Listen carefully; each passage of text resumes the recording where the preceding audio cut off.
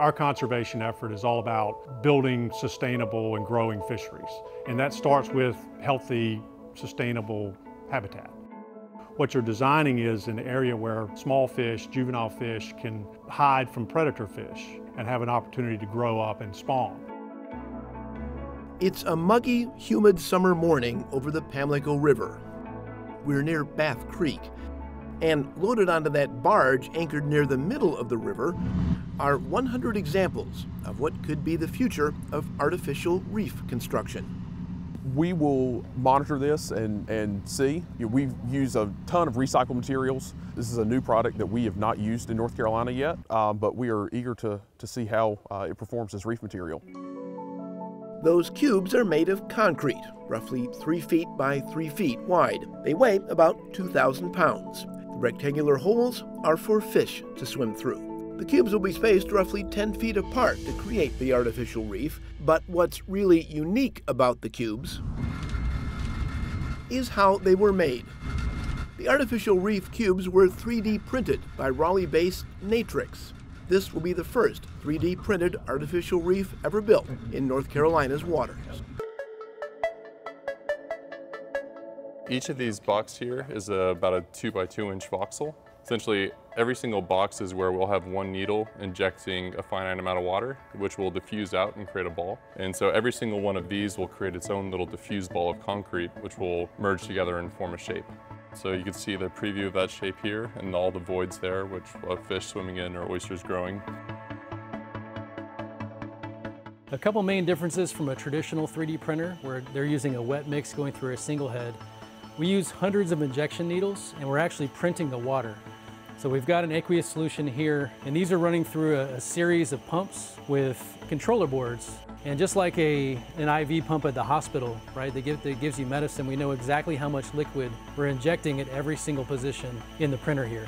So as we move along, we'll continue to print layer by layer. Right now it's printing the bottom layer. After that, the head will come up and we'll, it'll look at the instructions from the digital file and print the next layer. Once injected into the dry concrete mix, the water flows and diffuses where it wills. It forms into a shape about the size of a baseball, and all those individual shapes combine and form a three-dimensional structure. We have control on where to put the hardened structure and where do we want to have void space. So unlike a lot of processes that we've been doing since Roman times, if you mix something, it's going to fill up the size of the container. We have the capability to create something more like Swiss cheese, right? So we can use less material, we can create all kinds of niches and voids and crannies for fish or crabs or other organisms. With our technology, we can develop something that looks like it belongs in the water. And so it works through uh, reactive diffusion. So it makes these rounded edges just like nature would. So it looks very naturalistic. And the, the crevices, the, the bumpiness, all of this makes it more uh, amenable to the aquatic organisms, for them to attach, for them to hide in, for them to forage in.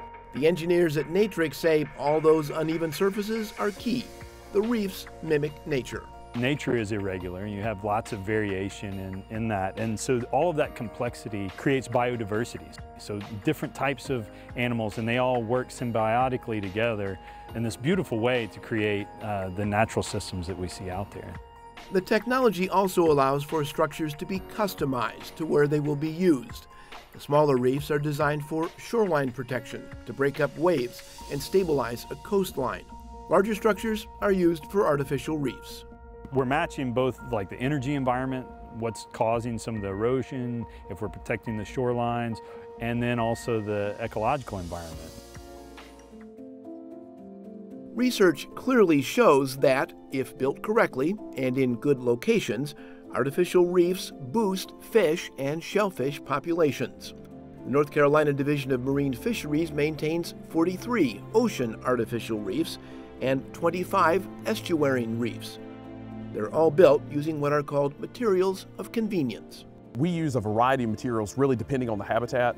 At this reef site, we have some other precast concrete products, uh, things called reef balls that are basically concrete domes. We have some recycled like culvert pipe, concrete pipe.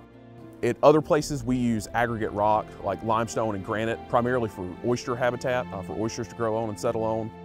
Um, and out in the ocean, we use the concrete pipe as well as cleaned ships and, and vessels.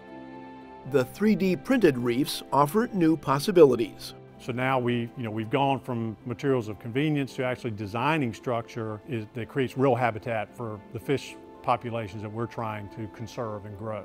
So we want to make sure we've got a good firm base that's going to stay in place wherever we build the system. And then, as you said, you know, it's going to grow. There's different layers on top of that that are going to attract the fish and the, the shellfish that are going to grow in that area. Throughput is really important in this domain, so we can produce a 4,000 pound shape in about 30 minutes, and we can do that 24-7 with a high degree of automation. The scale of what we do is really important, and the speed, because of the global challenge with reef systems. So unfortunately, we've lost 50 billion tons of oyster reefs and over 100 billion tons of coral reefs. So to sort of restore all that, we need high throughput and highly tailored structure and substrate that can restore those ecosystems.